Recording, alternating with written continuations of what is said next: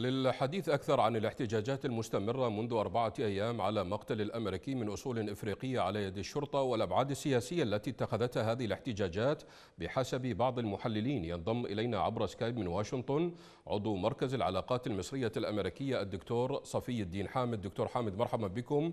يعني تقرير الطبيب الشرعي واضح جدا بأنه قتل خنقا لكن دكتور حوادث الشرطة الموجهة ضد الأمريكيين من أصول إفريقية كثيرة.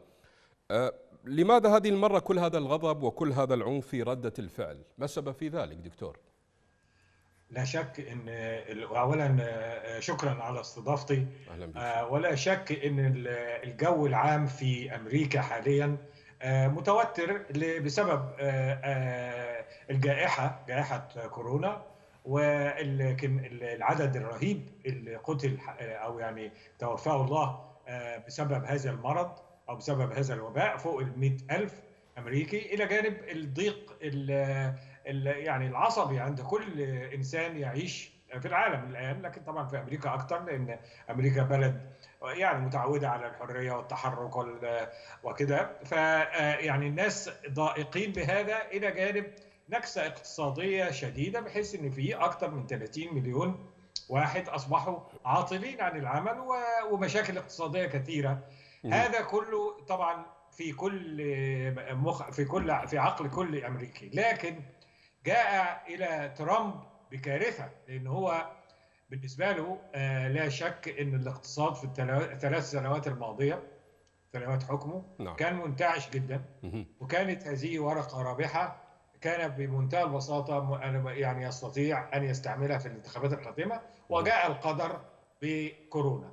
هو طبعا إنسان ليس آه، يعني إنسان متهور أحمق وغاضب غاضب جدا لأنه طيب دكتور يعني نعم على ذكر التهور والغضب التي وصفتم بها ترامب. آه، ترامب قال آه، بشأن ما حدث إنه ليس تظاهرات سلمية وإنما إرهاب وفوضى ووصف المتظاهرين بأنهم مجرد لصوص. كيف استقبل آه، استقبل الشارع الأمريكي هذه هذا التصريح؟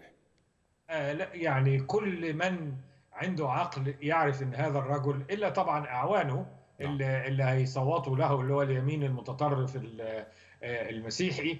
دول طبعا بيأخذوه بعلاته ويوافقوا عليه. لكن أغلب الشعب الأمريكي بينظر إلى هذا الحقيقة باحتقار كمان وازدراء لأن هذا لا يصح لأنه حتى الآن تكلم كثيرا ولم يذكر السبب الرئيسي. السبب الرئيسي هو إن الثقافة الأمريكية والعقلية الأمريكية القديمة ليست الشباب القديمة فيها عنصرية شديدة جدا وازدراء للجنس الأفريقي بالذات. لكن طبعا بكل الأجانب. طيب هذه هو هذا مربط الفرس. لم نعم. يتكلم عنه ولم يحاول أن يتخلص منه أو يعالجه. أه، دكتور حامد أه، بالأمس زار ترامب كنيسة ومجاوره للبيت الأبيض ورفع الإنجيل. ما هي الرسالة التي كان يريد أن يرسلها ترامب من هذه الزيارة وهذا التصرف؟ والله هذا التصرف تعيس. وفي صباح اليوم تكلمت القسيسة الراعية لهذه الكنيسة. وكانت بتتكلم الحقيقة باستياء شديد قالت إن هذه الزيارة لكنيستي آه، لم يسمح لها لم لم يتصل بي أحد ولم يطلب البيت الأبيض آه، أي إذن قبل أن يأتي إلى أرضنا لأنها أرضها يعني هذه هي المسؤولة. آه، وكانت غاضبة لأنها قالت إن حتى رسالته وكلامه كان ليس توافقي وليس آه، يعني محاولة لجذب كل الأمريكيين ومحاولة تضميد الجروح بل كان آه، رسالة الحقيقة نقدر نقول إنها عنصرية لأن أولا أمريكا ليست مسيحيين فقط نعم. أمريكا فيها يهود وفيها مسلمين وفيها نعم. بوذيين وفيها هندوس وفيها ملحدين وهي دولة علمانية بأي حق هذا الرجل يجيء ليرفع آه، كتاب مقدس واحد هذا طبعا بيثير المشاعر أكثر يعني لدرجة إن القسيسة نفسها قالت إن هذا تم بدون علمنا ولا إذننا. فطبعا أهانته بهذا الكثير.